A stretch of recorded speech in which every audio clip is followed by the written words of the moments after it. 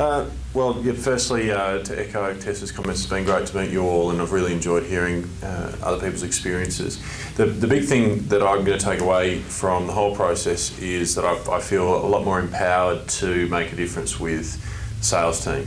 Um, I think that probably one of the one of the big things I've taken away is to learn some of the skills that I need to build both self confidence but really performance with individuals and things like the uh, the cycle that we looked at there and the ability to build up um, people's uh, perceived potential is one of the one of the big things that I think can make a real difference in the UK business.